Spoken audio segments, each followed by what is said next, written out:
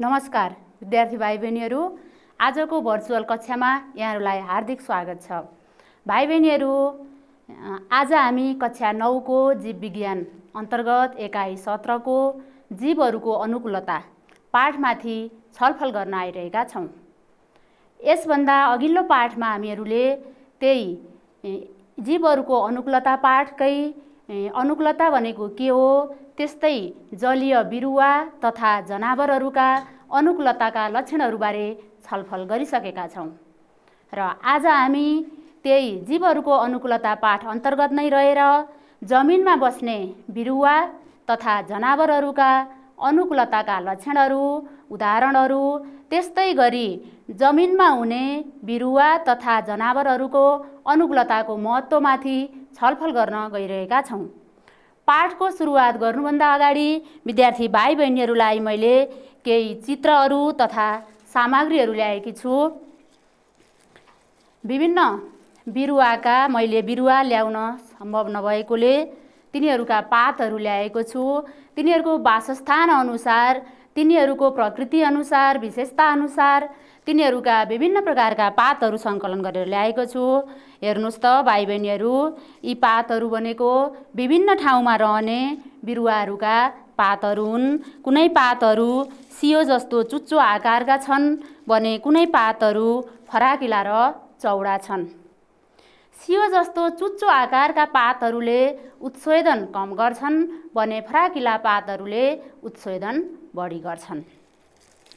त्यस्तै गरी हिमाली भेगमा पाइने सल्ला अर्थात् पाइन जसलाई हामी धुपी सल्ला त्यस्ता बिरुवाहरू हिमाली भेगमा पाइने भनेर भन्छौँ। तिनीहरू खास गरी हिमालमा बस्ने हुनाले तिनीहरूको फुलको सट्टा कोनको विकास भएको हुन्छ। त्यसकारण तिनीहरूलाई कोनिफेरस प्लान्ट पनि भनिन्छ। त्यस्तै गरी भाइ बहिनीहरू यी चित्रहरू हेर्नुहोस् त। यहाँ विभिन्न प्रकारका चित्रहरू देखाइएको छ। मोनार्च बटरफ्लाई अर्थात् यसलाई साई पुतली भनेर भन्छौँ हामी। यो चाहिँ वातावरणमा अनुकूल हुनको लागि आफू शत्रुसँग बच्नको लागि विभिन्न प्रकारका जुक्तिहरू छलहरू गरेर शत्रुबाट आफूलाई बचाउने काम गर्छ र वातावरणमा अनुकूलित हुने गर्छ। त्यस्तै गरी यो लोखर्के छ। यो चाहिँ रुखमा बस्ने जनावर हो। रुखमा बस्ने जनावरहरूको खास गरी रुखमा चढ्दा वालमा चढ्दा यिनीहरूको भित्तामा टाँसिने प्याड हुन्छ र छातीको मांसपेशी एकदमै बलियो हुनाले यिनीहरू रुखमा सजिलै चढ्न सक्छन्। त्यस्तै गरी दुलामा बस्ने जनावर मुसाहरू कङ्गारू यिनीहरू दुलामा बस्छन्। यिनीहरूको सुँड हुन्छ र नङ्ग्रा हुन्छ जुन जमिनमा खनेर भित्र जानको लागि यिनीहरूको खास गरी नङ्ग्राले सहायता पुर्याएको हुन्छ र यिनीहरूको शरीर खास गरी सिलिन्डर आकार अर्थात् रड सेपको कहिलेकाहीँ गुटमुटेर बस्न पनि सक्ने हुनाले दुलामा सहजै यिनीहरू भित्र पस्न सक्छन्। र यसलाई हामी जस्तो छेपारो। छेपारोले रङ फेर्छ भनेको भाइ बहिनीहरूले पक्कै पनि सुन्नुभएकै छ होला। छेपारो खास गरी क्यामोफ्लाग अर्थात् शत्रुलाई फसाउने जुक्ति यो पनि आफ्नो शरीरको सुरक्षा गर्नको लागि विभिन्न रङहरू फेरेर आफूलाई सुरक्षित बनाउने गर्छ। त्यस्तै गरी यो ब्याट चमेरो भाइ बहिनीहरूलाई यो चमेरोको बारेमा धेरै कुरा थाहा छ। यो चाहिँ खास गरी स्तनधारी जनावर हो तर हावामा उड्ने जनावर मध्ये पनि यो एउटा जनावर हो। यसको चाहिँ खास गरी हल्का हाडहरू स्पन्जी हाडहरू हुने हुनाले यिनीहरूको हाड यिनीहरूको शरीर चाहिँ स्ट्रिम लाइन्ड बढी हुने हुनाले यिनीहरू हावामा सजिलै उड्न सक्छन्। त्यस्तै गरी भित्तामा चढ्ने आर्बोरियल मैले अगाडि लोखर्केको बारेमा छलफल गरेको थिएँ। यिनीहरूको भित्तामा टाँसिने प्याड हुन्छ जसको कारण यिनीहरू सहजै भित्तामा माथि चढ्न सक्छन्। र ऱ्याबिट ऱ्याबिटको बारेमा भाइ बहिनीहरूले धेरै थाहा पाइसक्नु भएको छ। घरमा पनि सायद पाल्नु भएको पनि छ होला। यो खास खुला जमिनमा रहने जनावर हो। यिनीहरूको खुट्टा लामा लामा हुन्छन् जसको कारण यिनीहरू जमिनमा दौडनको लागि सहजै सफल हुन्छन्। र यो पोलार बिहार जुन हिउँमा बस्छ यो चाहिँ हिउँ जस्तै रङको सेतो कलरको हुनाले शत्रुबाट सजिलै आफूलाई छुटाउन सफल हुन्छ। त्यस्तै गरी यिनीहरूको शरीरमा बाक्ला भुत्ला र यिनीहरू मोटा फ्याट यिनीहरूको शरीरमा फ्याट हुने हुनाले जाडोमा बस्दा यिनीहरूले तापक्रम पाउने गर्छन्। ल भाइ बहिनीहरू आजको पाठ के हो भन्ने कुरो यहाँहरूले पक्कै पनि थाहा पाइसक्नुभयो। खास आजको पाठ भनेको जमिनमा अनुकूलता। जमिनमा विभिन्न प्रकारका वनस्पतिहरू तथा जनावरहरू सजीव बिरुवा जनावर सूक्ष्मजीवहरू रहेका हुन्छन्। यस्ता सजीवहरूले जमिनबाट नै आफूलाई चाहिने पानी प्रकाश अक्सिजन र खाद्य पदार्थ प्राप्त गर्दछन्। जीवलाई जमिनमा रहन सक्षम बनाउने विशेष किसिमका संरचनात्मक तथा कार्यात्मक गुणहरूलाई जमिनमा अनुकूलता भनिन्छ। अर्थात् सजीवहरूलाई जमिनमा रहनको लागि विभिन्न विशेषताहरू शारीरिक विशेषताहरू त्यस्तै गरी बायोलोजिकल विशेषताहरू त्यस्तै गरी संरचनात्मक तथा ती संरचना अनुसारका विभिन्न अङ्गहरूले विभिन्न आफ्नो कामहरू गरेर उनीहरूलाई त्यस वातावरणमा रहनको लागि सक्षम बनाउँछन्। यसरी जीवहरूलाई जनावर र वनस्पतिहरूलाई जमिनमा रहनको लागि घुलमिल हुनको लागि बाँच्न तथा प्रजनन गर्नको लागि सघाउने अर्थात् सहयोग गर्ने विभिन्न प्रकारको क्षमता नै जमिनमा अनुकूलता हो। र जमिनमा खास गरी बिरुवाहरू र जनावरहरू रहन्छन्।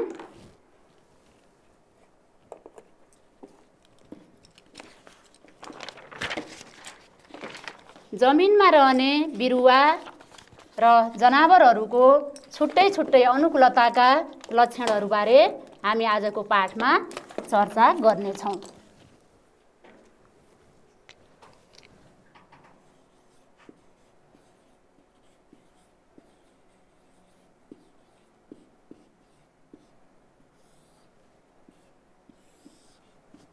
अनुकूलता। जमिनमा अनुकूलता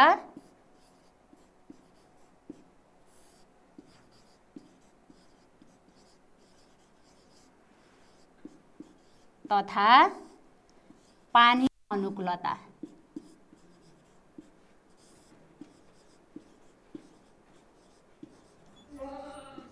र जमिनमा अनुकूलता माथि आज हामी छलफल गर्न गइरहेका छौँ। पानीमा अनुकूलता हामीले यसभन्दा अगाडिको पाठमा नै छलफल गरिसकेका छौँ। र जमिनमा अनुकूलतालाई जमिनमा हुने बिरुवाको अनुकूलता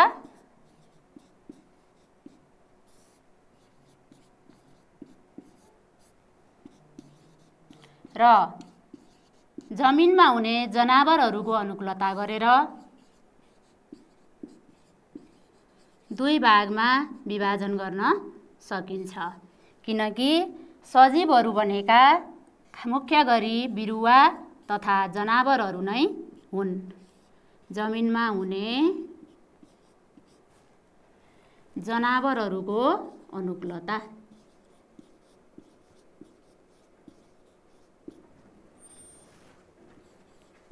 अनुकूलता। र यसमा पनि अब हामी जमिनमा रहने बिरुवाहरूका अनुकूलताको बारेमा छलफल गर्नेछौँ। जमिनमा प्राय गरी दुई प्रकारका बिरुवाहरू रहने गर्दछन्।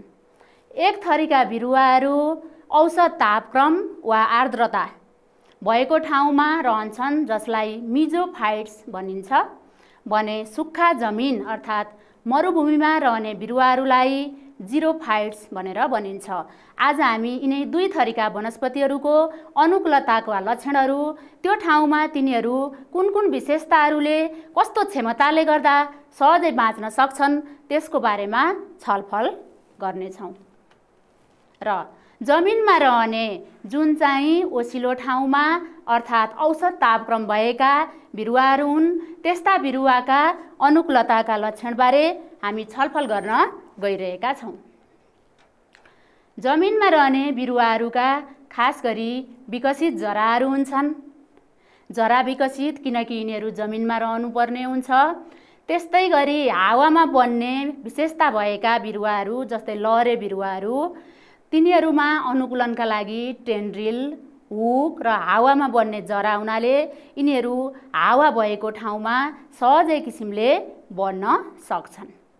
त्यस्तै गरी ओसिलो वासस्थानमा बसोबास गर्ने बिरुवाको मेकानिकल टिस्यु यान्त्रिक तत्तु तन्तु र भास्कुलर तन्तु जाइलम एन्ड फ्लोयमको विकास भएको हुन्छ जसको कारण यिनीहरूले ट्रान्सपोर्ट गर्नको लागि खनिज तथा पानी अर्थात् पातमा बनिसकेको खानालाई बिरुवाको विभिन्न भागमा पुर्याउनको लागि सहयोग गरिरहेका हुन्छन्। र यिनीहरूले पानीको अभाव सरी कुनै कुनै वनस्पतिहरूको पानीको अभाव कम गर्नका लागि जाडो मौसममा पात झर्ने गुण हुन्छ जसलाई हामी पतझर वनस्पति पनि भन्ने गर्छौँ। विशेष गरी त्यस्ता वनस्पतिहरूको पात जाडो मौसममा झर्ने गर्छ। त्यस्तै गरी यस्ता वनस्पतिहरूका काण्डहरू हावामा बन्ने किसिमका तथा बाक्लो हाँगा भएका हुन्छन्। हावामा बढ्ने हाँगाहरू भएका हुन्छन्। र पातहरू सामान्यतया ठुला आकारका जस्तै यसरी यिनीहरूको पातहरू ठुला आकारका हुने गर्दछन्। र पातको तल्लो भागमा धेरै मात्रामा स्टोमाटाहरू हुन्छन्। र पानीको अभाव कम गर्नको लागि क्युटिकल विकसित हुन्छ। क्युटिकलले पानीको अभाव कम गर्नको लागि सहयोग पुर्याएको हुन्छ। त्यसकारण पानीको अभाव कम गर्नको लागि क्युटिकल विकसित भएको हुन्छ। यस्तो क्युटिकल विशेष गरी मरुभूमिमा रहने बिरुवाहरूमा पनि प्राय विकसित भएको हुन्छ। र चिसो ठाउँमा रहने बिरुवाको पातहरू सियो जस्तो चुच्चो आकारका हुन्छन् र त्यस्ता बिरुवाहरूमा फुलको सट्टा कोनको विकास हुने हुनाले त्यस्ता बिरुवाहरूलाई कोनिफेरस प्लान्ट पनि भनिन्छ।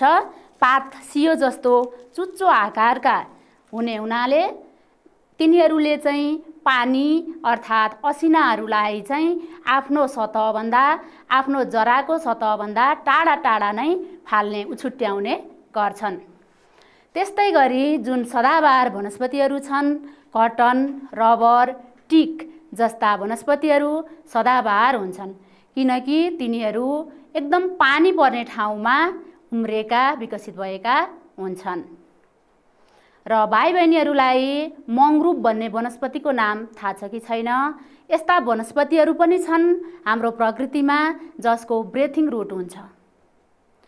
किनकि तिनीहरू राम्रोसँग हावा छिर्न नसक्ने चिम्ट्याइलो क्ले माटोमा रहन्छन् समुद्रको तटहरूमा किनारहरूमा रहन्छन्। तर त्यस्तो स्थानमा राम्रोसँग हावा छिर्न सक्दैन क्ले माटोमा रहन्छन्। जसको कारण तिनीहरूको ब्रेथिङ रुटको कारणबाट तिनीहरूले सहजै आफूलाई चाहिने अक्सिजन प्राप्त गर्न सक्छन्। ल हेर्नुहोस् त भाइ बहिनीहरू कोनिफेरस प्लान्ट मैले यो स्लाइड चाहिँ खास गरी गुगलबाट सर्च गरेर भाइ बहिनीहरूको लागि ल्याएको हो। कोनिफेरस पातहरू सियो जस्तो। तिखो चुच्चो आकारका यिनीहरूमा फुलको सट्टा कोन हुन्छ कोन विकसित भएको हुन्छ प्राय वास्तविक फुल र फल यिनीहरूमा लाग्दैन किनकि यिनीहरूमा ओभरी हुँदैन।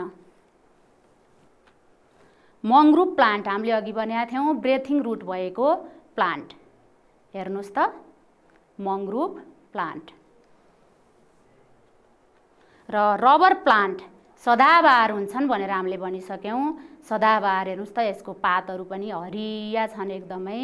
किनभने यिनीहरू एकदम पानी पर्ने ठाउँमा हुने हुनाले यिनीहरू सदाबहार कहिल्यै पनि यिनीहरूको पात नजर्ने सधैँभरि हरिया भइराख्ने यिनीहरूको विशेषता हुन्छ। ल मैले अघि भनिसकेको छु भाइ बहिनीहरूलाई खास गरी बिरुवाहरू दुई प्रकारका हुन्छन्। औसत तापक्रम र हावापानीमा बस्ने अथवा रहने बिरुवाहरूलाई मिजोफाइट्स भनिन्छ भने सुक्खा ठाउँमा रहने बिरुवाहरूलाई जिरोफाइट्स भनिन्छ। सुक्खा ठाउँमा रहनुपर्दा यिनीहरूलाई पानीको अभाव सामना गर्नु पर्ने चुनौती हुन्छ जसको कारण यिनीहरूलाई बढी मात्रामा निष्कासन गर्नुपर्ने पनि हुन्छ।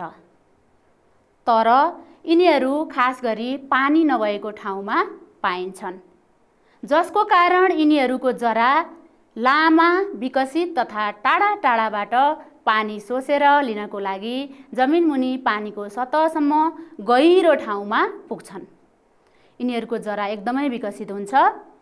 पानीको अभाव हुने हुनाले यिनीहरूको जरा यति विकसित हुन्छ यति लामा हुन्छन् कि यिनीहरू डिप पानीको सतह। जमिनमुनि गहिरो ठाउँमा पानीको सतहसम्म पुग्ने गर्छन् र त्यहाँबाट पानी सोसेर पानीको अभावलाई पूर्ति गर्ने गर्दछन्।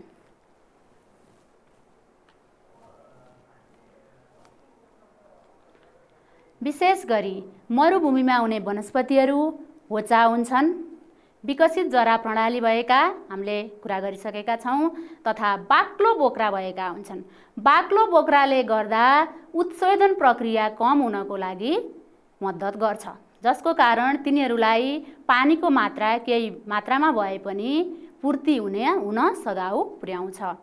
पानीको अभाव हुने हुनाले उत्सर्जनबाट पानीको क्षति कम गर्नका लागि बाहिरी सतह बाक्लो भएका बाहिरी सतह एकदमै बाक्लो साना साना पातहरू भएका। अर्थात् कुनै बिरुवाहरूको पात नै हुँदैन जस्तै सिउँडी। सिउँडीको पातको सट्टा काँडाहरू हुन्छन्। मा पातहरूको माथिल्लो सतहमा क्युटिकल हुन्छ जसले उत्सर्जन कम गराउँछ। किनकि यिनीहरूमा पानीको अभाव भइरहेको हुन्छ जसको कारण पातको माथिल्लो सतहको क्युटिकलले उत्सेदन ट्रान्सप्रेसन कम गराउने हुनाले यिनीहरूलाई पानीको अभाव सामना गर्नको लागि मद्दत पुग्छ। ल हेर्नुहोस् त डेजर्ट प्लान्ट क्याक्टस यिनीहरू होचा होचा एकदम मरुभूमिमा विकसित भएका बलौटे माटोमा विकसित भएका यिनीहरूको जरा चाहिँ विकसित हुन्छ। यिनीहरू पानीको सतहसम्म टाढा टाढा यिनीहरूको जरा फैलिएको हुन्छ। खास गरी यिनीहरूको पातको सट्टा काँडाहरू विकसित भएको हुन्छ। यी काँडाहरू देख्नुभएकै छ। भाइ बहिनीहरूले काँडा यी सिउँडीका काँडाहरू। यसरी विभिन्न लक्षणहरूले गर्दा यिनीहरू मरुभूमिमा सहजै किसिमले रहन सक्छन्।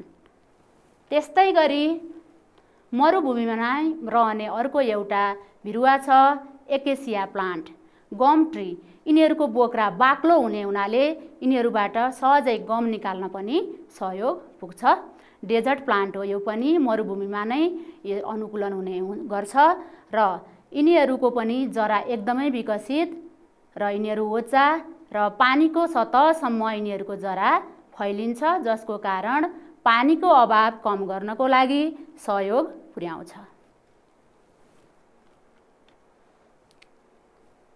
ल भाइ बहिनीहरू हामीले पानीमा सरी जमिनमा रहने बिरुवाहरू र तिनीहरूका अनुकूलताका लक्षणहरूको बारेमा छलफल गरिसकेका छौँ।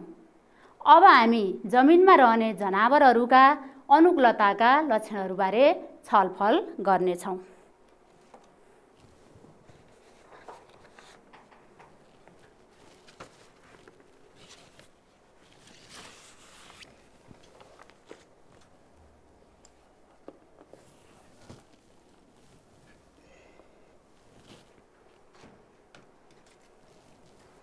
ल जमिनमा अनुकूलता। यो पनि जनावरहरूको अनुकूलता हो।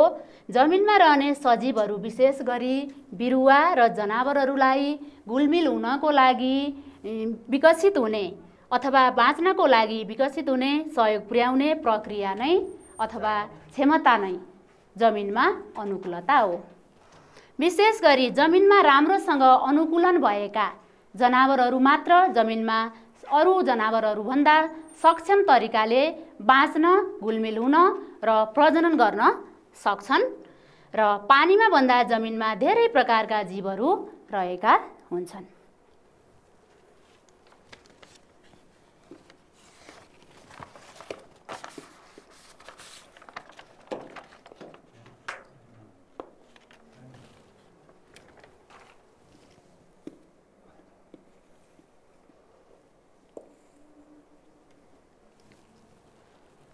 र जमिनमा रहने जनावरहरूका अनुकूलताका लक्षणहरू।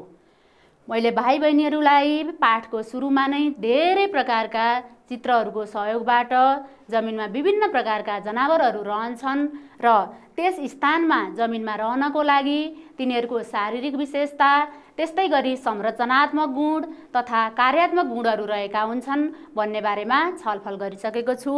र अब जमिनमा रहने तिनै जनावरहरूका कस्ता कस्ता विशेषताहरूले गर्दा जमिनमा सहजै किसिमले बाँच्न सक्छन् भन्ने बारेमा छलफल गरौँ है त। जमिनमा विभिन्न प्रकारका जनावरहरू रहेका हुन्छन्। खास गरी विद्यार्थी भाइ बहिनीहरूलाई को सजिलोको लागि मैले जमिनमा रहने बिरुवाहरूलाई सरी जनावरहरूलाई पाँच प्रकारमा विभाजन गरेको छु। अर्थात् हाम्रो टेक्स्ट बुकमा एउटै ठाउँमा जनावरहरूको अनुकूलता भनेर दिएको छ। मैले त्यसलाई शीर्षक अनुसार तिनीहरूको गुणअनुसार छुट्याएर खास गरी जमिनमा रहने जनावरहरू भन्नाले खुला ठाउँमा रहने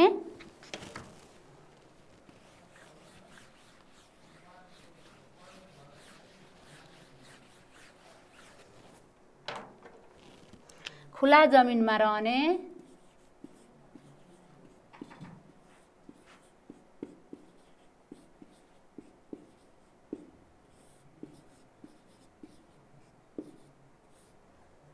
रुखमा बस्ने।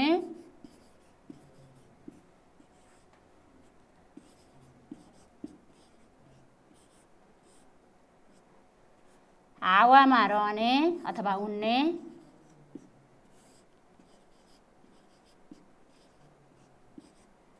दुलोमा बस्ने।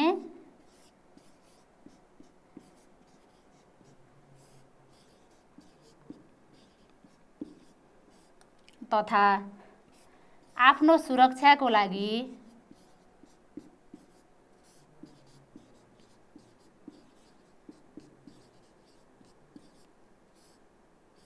विभिन्न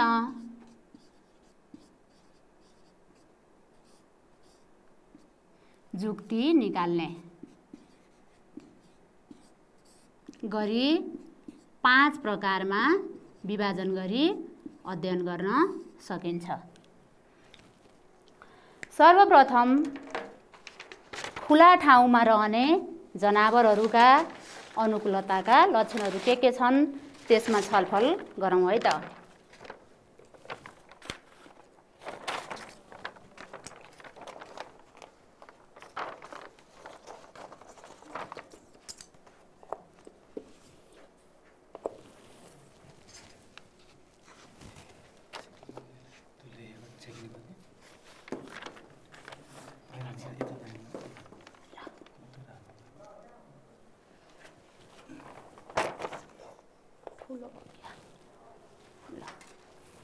भाइ बहिनीहरू जमिनमा रहने जनावरहरूलाई तिनीहरूको विशेषताको आधारमा विभिन्न भागमा विभाजन गर्न सकिन्छ र खुला जमिनमा बस्ने जनावरहरूका अनुकूलताका लक्षणहरू। जुन खुला जमिनमा बस्छन् जनावरहरू त्यस्ता जनावरहरूका कस कस्ता कस्ता विशेषताका कारणले कस्ता कस्ता क्षमताका कारणले तिनीहरू जमिनमा रहन सक्छन् त। शरीर वायुयान जस्तो आकारको हुन्छ जसले छिटो चाल उत्पन्न गर्नमा मद्दत पुर्याउँछ। तिनीहरूको शरीर स्ट्रिम लाइन्ड हुन्छ जसले खुला जमिनमा छिटो छिटो दौडनको लागि मद्दत गर्दछ। त्यस्तै गरी खुट्टाहरू लामा हुन्छन्। लामा खुट्टाले चाल पनि छिटो गर्ने हुँदा यिनीहरूको लामा खुट्टा हुनु पनि यिनीहरूलाई जमिनमा रहनको लागि सहयोग पुर्याउने विशेषता हो। त्यस्तै गरी औँलाको सहायताले चाल उत्पन्न गर्छन् तिनीहरू। एक ठाउँबाट अर्को ठाउँमा चाल उत्पन्न गर्नको लागि तिनीहरूको शरीरमा भएको औँलाले पनि मद्दत पुर्याइरहेको हुन्छ। जस्तै जमिनमा खुला जमिनमा रहने जनावरहरूमा खरायो कुकुर बाघ चितुवा घोडा अथवा आदि जनावरहरू रहेका हुन्छन्। र कुनै जनावरहरू खुला जमिनमा रहने जनावरहरूमध्ये पनि कुनै जनावरहरू एउटा मात्र खुर भएका हुन्छन् जस्तै घोडा गधा भने कुनै जनावरहरू दुईवटा खुर भएका गाई भैँसी भेडा बाख्रा जस्ता जनावरहरू दुईवटा खुर भएका हुन्छन्। भाइ बहिनीहरूको वातावरणमा पनि गाई भैँसी घोडा गधाहरू जस्ता जनावरहरू पक्कै पनि छन्। भाइ बहिनीहरूले तिनीहरूको खुरको बारेमा अध्ययन गर्न पनि अथवा अवलोकन गर्न पनि सक्नुहुन्छ। र हेर्नुहोस् त कर्सोरियल एनिमल जुन जमिनमा रहन्छ खास गरी यिनीहरूका खुट्टा लामा लामा र यिनीहरूको चाहिँ खास औँलाको सहायताबाट चाल उत्पन्न गर्छन् र यिनीहरूको शरीर स्ट्रिम लाइन्ड हुने हुनाले छिटो छिटो दौडन सहयोग पुर्याउँछ। ल त्यस्तै गरी दुलोमा बस्ने जनावरहरू। भाइ बहिनीहरूले पक्कै पनि मुसा स्याल फ्याउरा जस्ता जनावरहरू दुलोमा बस्नुभएको देख्नुभएको छ होला। यस्ता जनावरहरूलाई दुलोमा बस्नको लागि कस्ता कस्ता गुणहरूले सहयोग पुर्याएका हुन्छन् कस्ता कस्ता विशेषताहरूले सहायता पुर्याएका हुन्छन् त। हेर्नुहोस् है त। टाउको सानो तथा टाउकोमा सुँड हुन्छ जसले जमिनलाई खन्नमा सहयोग पुर्याएको हुन्छ। त्यस्तै गरी यिनीहरूको शरीर जस्तै भाइ बहिनीहरूले सर्प देख्नुभएको छ होला। सर्प चाहेको आकारमा आफ्नो शरीरलाई बदल्न सक्छ खास गरी रड सेप्ड यिनीहरूको शरीर त्यस्तै गरी सिलिन्डर सेप्ड हुने हुनाले यिनीहरू दुलोमा सजिलै किसिमले रहन सक्छन्। र यिनीहरूको अगाडिको खुट्टा छोटा हुन्छन्। अगाडिको खुट्टा छोटा हुने विशेषताले गर्दा यिनीहरूलाई जमिन खन्नमा सहायता पुर्याइरहेको हुन्छ।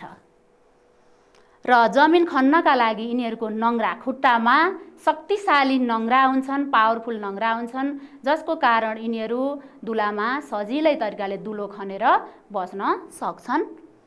जस्तै दुलोमा बस्ने जनावरहरूमा छुचुन्द्रा मुसा सर्प अथवा यस्तै अरू धेरै जनावरहरू छन् भाइ बहिनीहरूले पनि पक्कै देखिसक्नुभएको छ। ल अब आर्बोरियल एनिमल। बाँदर त्यस्तै गरी छेपारो माउसुली जस्ता जनावरहरू भित्तामा चढेको रुखमा बसेको पक्कै पनि भाइ बहिनीहरूले देखिसक्नुभएकै होला। यस्ता रुखमा चढ्ने जनावरहरूलाई आर्बोरियल एनिमल भनेर भनिन्छ।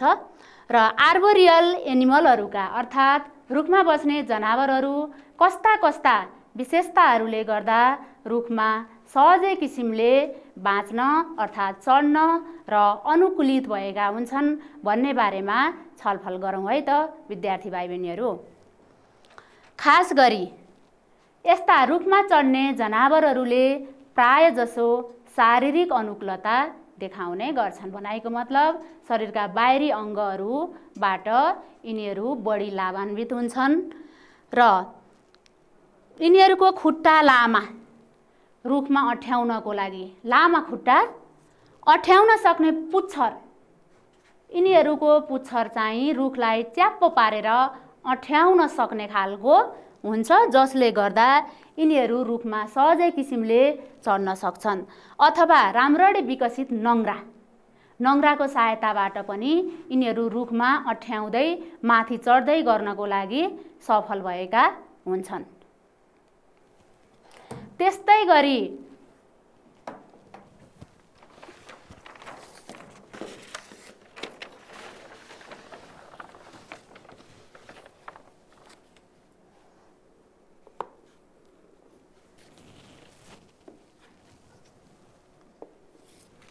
यस्ता जनावरहरूको अगाडिका खुट्टाहरू रुखमा झुन्डन सहयोग गर्ने लामा हुन्छन्।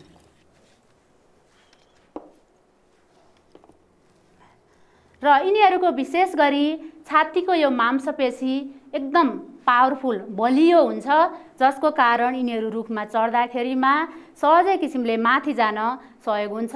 आफूलाई कुनै पनि किसिमको अनिजी अर्थात् असजिलोपन यिनीहरूलाई अनुभव हुँदैन। छेपारो माउसुली जस्ता जनावरहरूमा भित्तामा टाँसिने प्याड हुन्छ जसलाई एडेसिभ प्याड पनि भनिन्छ।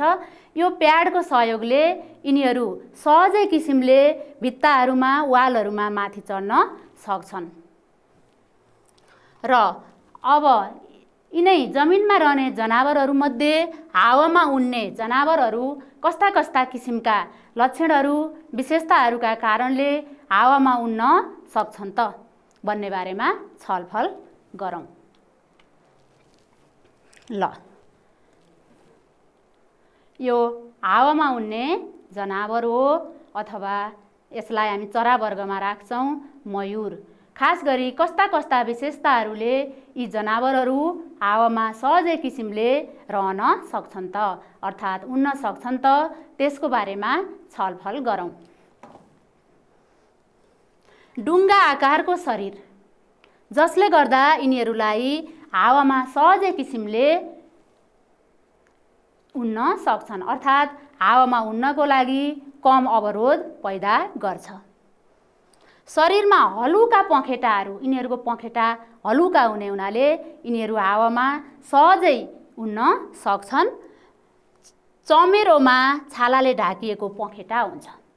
हामीले अघि चित्रमा हेरेका थियौँ चमेरा जसलाई प्याटाजियम भनेर भनिन्छ जुन हावाले छावा छालाले ढाकिएको पखेटा ठुलो पखेटा हुन्छ चमेरामा जसले गर्दा यिनीहरू हावामा उड्न सक्छन्। खास गरी चमेरो त स्तनधारी जनावर पनि हो तर बढी मात्रामा यिनीहरूमा हावामा रहने गुण भएकोले यिनीहरूलाई एरियल अन्तर्गत राखिएको पाइन्छ। किराहरूको पखेटा मसिनो हुन्छ। हावामा रहने किराहरूको पखेटा मसिनो हुनाले यिनीहरूलाई हावामा सहजै किसिमले उड्नको लागि सहयोग पुर्याएको हुन्छ। र सबै प्रकारका हावामा उड्ने जनावरहरूको विकसित फ्लाइट मांसपेशी हुन्छन्। यिनै मांसपेशीहरूको कारणले गर्दा यस्ता हावामा उड्ने जनावरहरू सजिलै हावामा उड्न सक्छन्। र शरीरको तौल कम गर्न हावाले भरिएका हाडहरू खोक्रा हाडहरू त्यसमा पनि हावाले भरिएका हाडहरू हुन्छन् जसले हावामा सजिलै जना यी जनावरहरूलाई उड्नको लागि मद्दत गर्दछ। जस्तै चरा चमेरा पुतली आदि जनावरहरू हावामा उड्ने जनावरहरू अन्तर्गत पर्दछन्। ल यो जनावर के होला विद्यार्थी भाइ बहिनीहरू पक्कै पनि भाइ बहिनीहरूले यस जनावरलाई नदेखे पनि यहाँहरूको पाठ्यवस्तुहरूमा भएका विभिन्न चित्रहरूबाट अवलोकन गरिसक्नु भएको छ। यो हो जिराफ जुन मरुभूमिमा पाइन्छ। क्यामेल सरी यो मरुभूमिमा पाइन्छ। यिनीहरू सुक्खा जमिनमा रहने हुनाले यिनीहरूलाई पानीको अभाव कम हुन्छ। यिनीहरू पानी नखाइकन एक हप्ताभन्दा पनि बढी रहन सक्छन् र एकचोटि पानी पिउँदा यिनीहरूले कम्तीमा बत्तिस ग्यालन अर्थात् बत्तिस इन्टु फोर्टी फाइभ लिटर पानी पिउन सक्छन् जसको कारण यिनीहरूले आफ्नो शरीरमा धेरै दिनसम्म पानी सञ्चित गरेर राख्न सक्छन्। र यस्ता जनावरहरूको खास गरी धेरै दिनसम्म दिसा पिसाब पनि रोकेर राख्न सक्ने र कम मात्रामा दिसा पिसाब गर्ने तिर्खा पनि यिनीहरूलाई कम नै लाग्छ र यिनीहरूको पिठ्यौँमा रहेको जुरोमा खाद्य पदार्थ सञ्चित भएर रहेको हुन्छ। र मरुभूमिमा पाइने छेपारोको हावा छिर्ने छाला हुन्छ जसले वायुमण्डलबाट पानी शोषण गर्छ। र यस्ता जनावरहरू जमिनमा रहँदा अर्थात् मरुभूमिमा रहँदा धेरै मात्रामा चुनौती सामना गर्ने हुनाले पानी नखाई धेरै दिनसम्म बाँच्न सक्ने क्षमता त्यस्तै गरी एकपटकमा धेरै पानी पिउन सक्ने क्षमता र यिनीहरूको खास गरी जुरोमा खाद्य पदार्थ सञ्चित गर्ने र आँखामा बाक्ला आँखीमा हुनाले हाउ आँखामा बालुवा छिर्नबाट बचाउँछ साथै हावामा आदि आउँदा अर्थात् माटोमा आदि आउँदा यिनीहरूका नाकका पालहरू बन्द गर्न सक्ने क्षमता हुन्छ जसको कारण श्वास प्रश्वासमा बाधा हुँदैन। र खुट्टामा फराकिला खुरहरू हुन्छन् जसले छिटो छिटो चाल उत्पन्न गर्नमा सहयोग पुर्याउँछन् र खुरमा फराकिला पन्जा हुनाले बालुवामा छिर्दैनन् यिनीहरूका खुरहरू। त्यसकारण यिनीहरू मरुभूमिमा सहजै किसिमले रहन सक्छन्। त्यसै गरी हामीले विभिन्न जुक्तिद्वारा शत्रुलाई फसाएर आफ्नो सुरक्षा गर्ने जीवहरूको बारेमा कुरा गरिसकेका छौँ र त्यस्ता जनावरहरूले खास गरी शरीरको रङ बदलेर अर्थात् वातावरण अनुसार आफ्नो रङ चेन्ज गरेर यिनीहरू शत्रुहरूबाट आफूलाई सजिलै किसिमले सुरक्षित पार्न सक्छन्। यो पोलार बियर जुन हिउँमा रहन्छ यिनीहरूको शरीरको रङ पनि हिउँकै जस्तो देखिएको छ जसको कारण शत्रुहरूबाट सजिलै शत्रुहरू झुक्किन्छन्। यो हिउँ हो भन्ने सोध्छन् र तिनीहरूलाई आक्रमण गर्न सक्दैनन् र आफूलाई सुरक्षित बनाउँछन्। त्यस्तै गरी चितुवा हेर्नुहोस् त रुखको जस्तै कलरमा रुखमा चढेको छ वातावरणको जस्तै कलरमा। खास बाहिरबाट झट्ट हेर्दा यिनीहरूलाई शत्रुहरूले छुट्याउन सक्दैनन्। र साई पुतली यसको ब्राइट येल्लो सरी ब्राइट ओरेन्ज कलरले गर्दा चराहरू यिनीहरूको वरिपरि पर्न सक्दैनन् जसको कारण यिनीहरू आफूलाई सहजै सुरक्षित गर्न सक्छन्। विद्यार्थी भाइ बहिनीहरू हामीले जमिनमा रहने जनावरहरूका विभिन्न अनुकूलताका लक्षणहरूबारे छलफल गऱ्यौँ। र माफ गर्नुहोला विद्यार्थी भाइ बहिनीहरू अघि मैले भन्दाखेरिमा उठले एकपटकमा पानी पिउँदा बत्तिस इन्टु पैँतालिस भनेको थिएँ। त्यो रङ हो बत्तिस इन्टु फोर पोइन्ट फाइभ त्यो पनि एप्रोक्सिमेटली एकपटकमा उठले त्यति पानी पिउन सक्छ जसको कारण धेरै दिनसम्म पानी नखाई रहन सक्छ।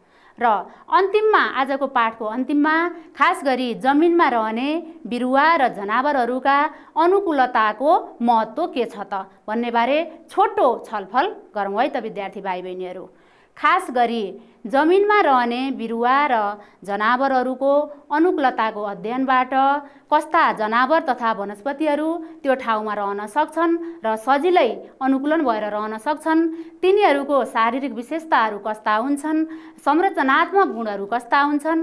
र कार्यात्मक गुणहरू कस्ता रहन्छन् भन्ने कुरो अध्ययन गर्न सजिलो हुन्छ।